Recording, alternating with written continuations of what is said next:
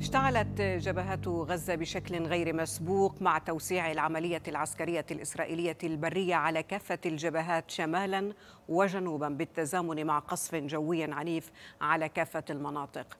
الجيش الإسرائيلي بدأ بدفع دباباته والحشد على مشارف حي الشجاعية ومدينة جباليا في شمال القطاع في حين نقلت وسائل إعلام إسرائيلية أن الفرقة 162 في الجيش الإسرائيلي كلفت بمهمة الدخول إلى جباليا في حين تستعد الفرقة 36 لدخول حي الشجاعية شرق مدينة غزة وهي ذاتها الفرقة التي تخوض قتال شوارع في حي الزيتون المجاور.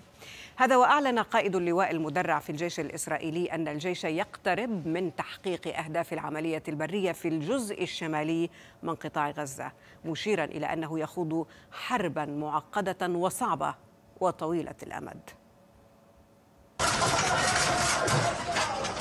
هذا هو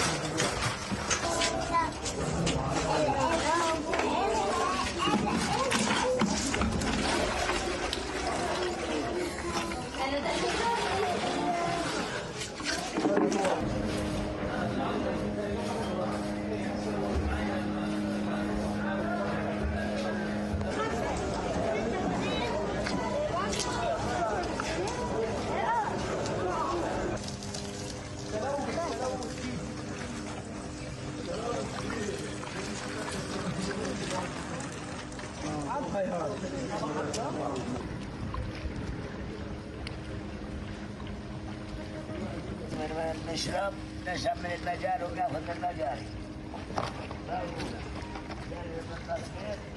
السلام عليكم. برضه بتصور هذا دائما سبيل